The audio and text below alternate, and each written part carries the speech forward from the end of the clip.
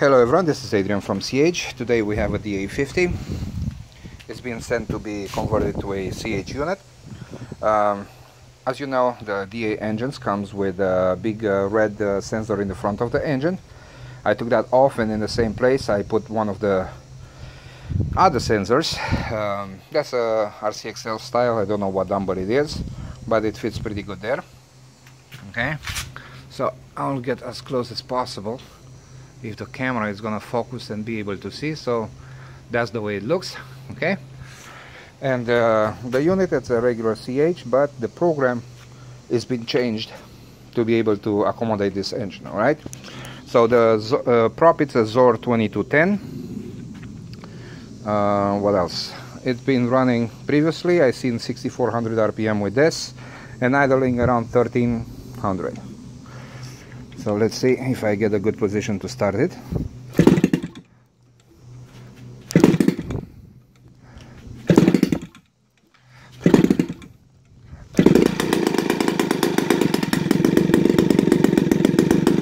The idle needs to be a little bit higher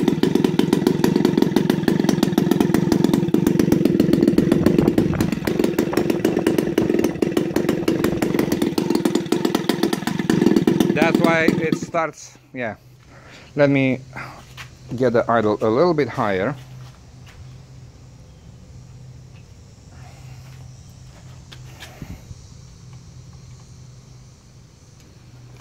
Now should be much better. The screwdriver in my pocket. Get a glove.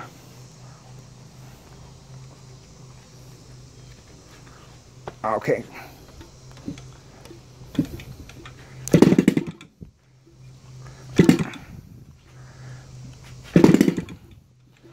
position is should be a little bit more here so I can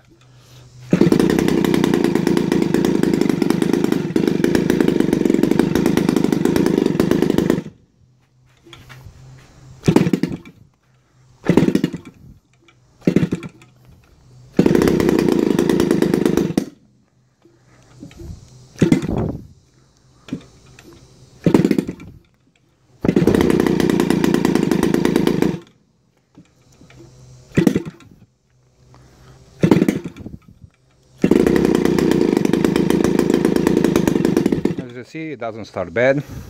It's just there. Need to find the right position so I can flip the prop right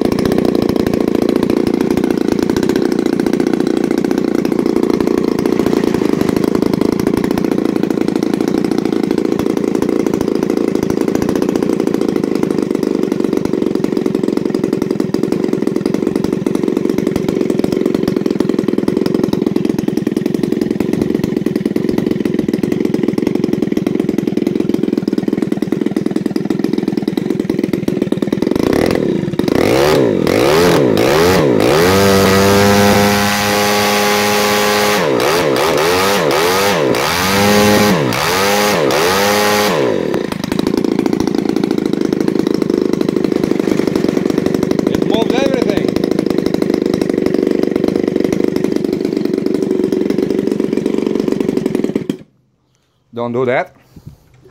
So yeah, makes a lot of noise and moves the whole sand.